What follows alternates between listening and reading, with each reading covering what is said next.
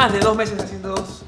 Haciendo no, no haciendo videos. Mi nombre es Henry Runaga, hago videos de viajes, soy de aquí de Lima, Perú. Y como ya deben saber, los que han visto, los que me siguen hace mucho tiempo, me encanta viajar y compartir mis viajes en internet como lo han visto en este canal. Mucho tiempo sin estar hablándole a la cámara, medio que me estoy oxidando, pero estoy intentando volver de nuevo al camino de los videos del internet. He estado apagado de todo, no he estado usando redes sociales, ni YouTube, ni nada. Ha sido una limpieza, una desintoxicación de todo lo que es internet por un rato porque tuve problemas técnicos y también aproveché para darme un descanso. Ahora he vuelto con todas las ganas del mundo de nuevo para estar con ustedes chicos y compartirles cosas que deberían ser compartidas y no las he compartido hace mucho tiempo. Comenzamos con una noticia muy feliz para todos nosotros que voy a abrir un nuevo, una nueva categoría en el canal que se va a llamar Inteligencia Viajera, que voy a compartir todo lo que es consejos de viajes que lo he aprendido a lo largo de estos muchos años de viaje, casi 10, y que son de suma importancia para viajar y van a ayudar mucho en tus viajes. Por eso he comenzado esta categoría nueva y van a ser videos muy cortos, consejos muy específicos en ciertos casos, aeropuertos, maletas, eh, dinero, hoteles, etcétera, etcétera, etcétera. Este video se va a tratar sobre 7 cosas que yo busco en un hostel a la hora de reservarlo. ¿Ustedes no saben qué es un hostel? Bueno, lo mismo lo voy a explicar un poquito a lo largo del video, pero comencemos con este video y comienza de esta manera. Vamos aquí conmigo.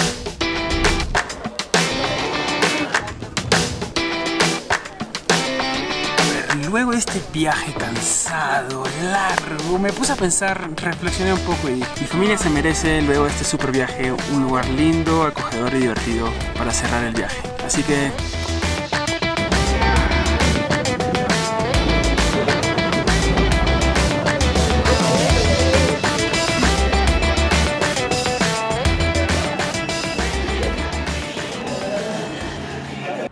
Uh, a ver, como se habrán dado cuenta, el hostel que les voy a compartir el día de hoy se llama Parihuana Hostel. Y es uno de los hostels más lindos que alguna vez me quedé en mi vida. Mira, al frente mío está el patio, que para mí es uno de los lugares más sociales y lindos de todo este hostel. Cuando hay un clima bueno, está lloviendo, puedes jugar ping-pong, zapito, tirarte, leer un libro. También hacen parrillas, hacen torneos de ping-pong. La gente se junta para socializar, para conocerse. Ponen música toda la tarde. Es como un ambiente bastante, bastante chévere y es precioso. Miren lo que es esto. Es precioso. Y pensando en este hostel y en las cosas que tenía para ofrecer, dije, quiero hacer un video sobre este hostel y las cosas que tiene para que otras personas puedan buscar similitudes o similaridades en otros hostels y la van a pasar. Si tienen estas 7 cosas, el hostel, se los aseguro que van a ahorrar dinero y la van a pasar muy bien. Continuemos ahora sí con el video y las cosas que deben buscar en un hostel.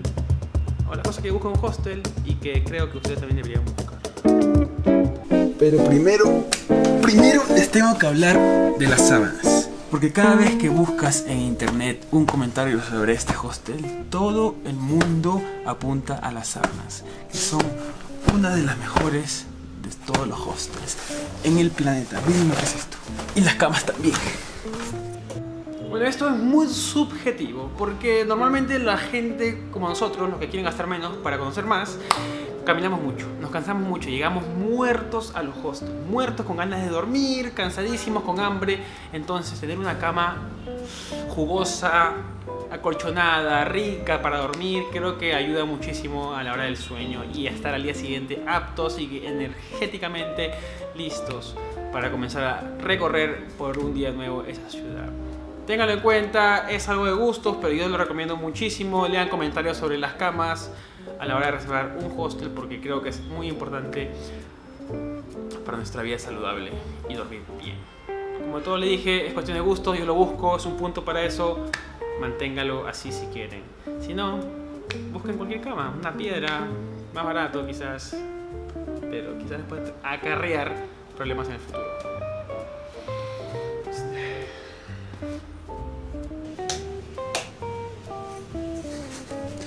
Obviamente estamos en un hostel, así que vas a tener que compartir cosas. Y si estás preocupado por la seguridad, para eso existen estas cosas, miren. Armarios. No todos los hostels tienen armarios, pero este armario es gigante donde puede entrar toda tu mochila. Aparte tiene un conector donde puedes dejar tus cosas cargando mientras estás en la calle, así que es súper conveniente. Esto es fundamental, fundamental porque si tienes cosas de valor que normalmente tenemos teléfonos, tenemos cámaras, tenemos pasaportes, tenemos dinero en efectivo, siempre hay que buscar un lugar, un lugar con armario, con closet. Normalmente la mayoría de hostels los tienen, algunos no los tienen, por favor siempre pregunten que tengan esto para que puedan dormir tranquilos y siempre viajen con candado que es con lo que se cierra. Un armario en estos casos. Súper consejo, armario siempre tenganlo presente.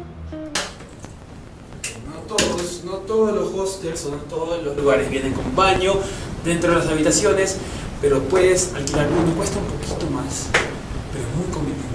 Ducha agua caliente, te levantas, te cepillas los dientes, no tienes que salir, si hace frío en la calle o afuera, a veces también hace mucho frío Así que nosotros tuvimos un cuarto.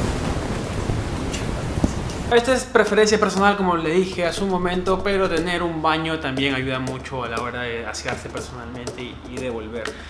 Porque muchos de los hostels tienen baños compartidos y el baño compartido a veces no ayuda porque hay muchísima gente, tienes que esperar mucho y tienes ganas de bañarte, estar limpio y irte a dormir. Cuestión de gustos, no es algo indispensable que lo puedes buscar porque las habitaciones más baratas son con el baño que está fuera de la habitación normalmente, cuando tiene baño dentro está un poco más cara, pero eso depende de cada uno a la hora de buscar el hostel. Pero consejo más, que podemos tenerlo en cuenta también.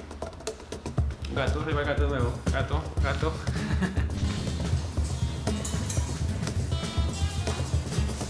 Y esta parte también es fundamental para todas las personas que están buscando un alojamiento, digamos, con todas las condiciones, el desayuno gratis.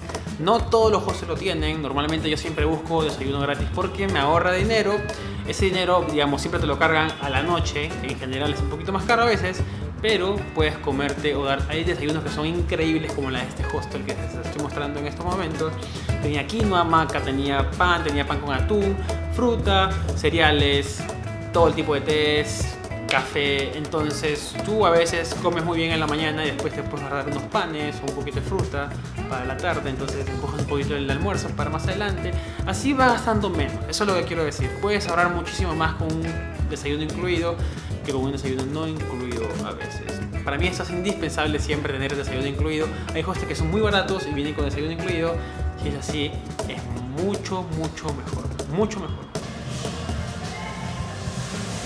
Algo crucial y que siempre busco cada vez que me quedo en un hostel o que esté a punto de reservar, dependiendo del lugar donde esté, en qué parte del mundo, por ejemplo en Tailandia no mucho, porque no se cocina tanto, porque es muy barato, pero en Sudamérica siempre he buscado, son cocinas comunes en los hostels. Porque va a salvarles el día cocinar, tener cositas en la mochila para llevar y comer en el camino, porque no tengan que gastar en restaurantes, en comida, digamos, fuera del hostel. Cuando estamos en un presupuesto ajustado, es lo mejor siempre buscar hostel con cocina. Uno porque, digamos, a nosotros los que nos viajamos por largos ratos nos gusta ahorrar cocinando. Y la parte más linda de cocinar es que puedes conocer gente en el proceso. Un lugar muy ameno y relajado en el hostel, que no todos lo tienen. Hay muchos lugares, por ejemplo en Asia, que no lo tienen porque directamente la comida es más barata en la calle. Pero en Europa y en Sudamérica vendría muy bien una cocina para ahorrarnos un poco más de eso. Ténganlo en cuenta también. A ver chicos, cuando yo era, comenzaba a viajar, siempre buscaba en aplicaciones como Hostel World, Hostel Bookers, también había ese tiempo, o Agoda o Booking.com, buscaba hostel con el menor precio. Como ustedes también hacen, deben poner el filtro de mayor a menor o de menor a mayor y comienzan a elegir desde ese momento. Pasa que hay hostels que están por kilometraje muy lejos del centro de las cosas interesantes para hacer en el lugar. Entonces, ¿qué pasa? Gastamos mucho en transporte y lo peor de todo, gastamos mucho en tiempo, que es lo que nosotros a veces no tenemos mucho. Entonces, la ubicación es fundamental, indispensable a la hora de elegir un hostel. Porque a veces pensamos que siendo más barato, vamos a ahorrar mucho más dinero. Pero si le sumamos el tema de que tienes que tomar dos buses para llegar al centro de la ciudad o a los lugares interesantes, más que la comida está un poco más cara por ese lugar porque hay menos opciones a veces, sale mucho más caro el tema del alojamiento. Así que siempre balanceen el tema del dinero con ubicación, porque a veces estando más cerca del lugar, siendo un poquito más caro, vale mucho más la pena quedarse en ese lugar que estar mucho más lejos y gastar en tiempo y en transporte. Así que mantengan sus opciones abiertas siempre, nunca se cierren por el tema solamente del precio. Una ubicación buena también les puede ahorrar mucho, mucho dinero Y lo más importante y algo que no se devuelve es el tiempo. Así que tengan mucho en cuenta esa parte también y ténganlo presente. A ver, algo que yo no le tomaba mucha importancia hace mucho, pero que me pasó que me quedé afuera del hostel porque llegué luego fuera del horario de recepción, era que no había 24 horas de recepción, entonces cerraban a las 12 de la noche y si no llegabas antes de las 12 de la noche en ciertos lugares, no te dejaban entrar. Así que tuvimos que esperar hasta las 7 de la mañana del día siguiente para poder entrar a un hostel. ¿Les parece eso correcto que te dejen afuera porque no tienen la capacidad de darte una llave o dejar a alguien ahí? No sé. Una cosa que se aprende, cosas que se aprende en el camino y se los digo, también busquen que sea recepción 24 horas porque si no es recepción 24 horas se corta mucho la diversión y ustedes tienen que volver antes de las 12, normalmente hasta las 12. Me pasó en Asia y me pasó en Asia dos veces. Tengan cuidado con eso, siempre pregunten, no hay pregunta tonta, sino pregunta no hecha, como les dije anteriormente. Y hay ciertas cosas, chicos, que no son indispensables. Son dispensables, son opcionales, pero a mí me encanta que tengan. Y si veo que, digamos, todas las, si es el hostel tiene todas las cosas indispensables que busco y tiene esta parte que es muy importante, lo reservo sin ninguna duda, que es un bar o un lugar, área común para conocer gente. Yo viajo solo, muchas veces he viajado solo, normalmente viajo solo y a veces cuesta conocer gente en lugares, hostels, porque no tienen áreas comunes y la gente está en los cuartos o está en la calle porque no hay lugar donde, digamos, pasar el tiempo en el hostel.